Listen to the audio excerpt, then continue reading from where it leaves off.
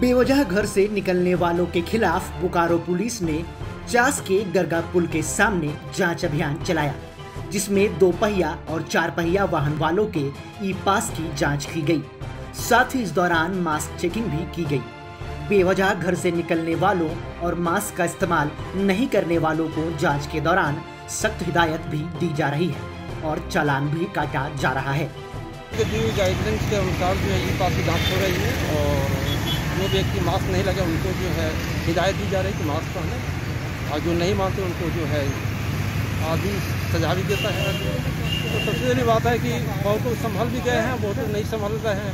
उसको जो हिदायत दी जा रही है, समझाया जा रहा है। उनको बोला जाए भाई आप मास्क लगाइए और बिना वजह घर से बाहर मत निकलिए। और ई पास की जो जाँच हो रही है सर- के की सरकार के गाइडलाइंस के बाद कुछ लोग मास्क का भी उपयोग नहीं कर रहे हैं। उपयोग नहीं कर रहे हैं। तो जिसको जो बोला जो हिदायत दी जा रही है आपके सामने एक आदमी देखिए मास्क नहीं लगा पॉकेट में मास्क लेकर चल रहा है मास्क नहीं लगा नहीं लगा रहा है। वैसे लोगों के क्या कर रहे हैं आप? उसे लोगों को पकड़ के जब पुलिस बुलाते हैं क्योंकि पुलिस जो है अपनी थोड़ा सा सख्तियाँ अपनाती है और उसे समझा कर कहा जाता है बहुत मास्क लगाओ। क्या नाम हो गया sir? Kedarnath Chaudhary.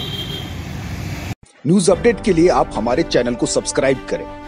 आप हमें फेसबुक और इंस्टाग्राम पर भी फॉलो कर सकते हैं। बने रहे लगातार डॉट इन के साथ।